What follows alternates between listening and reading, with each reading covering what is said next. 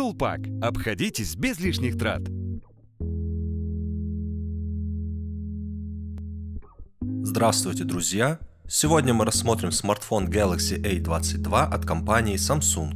В комплектацию также входят зарядное устройство, USB-шнур, ключ для лотка сим-карты и документация.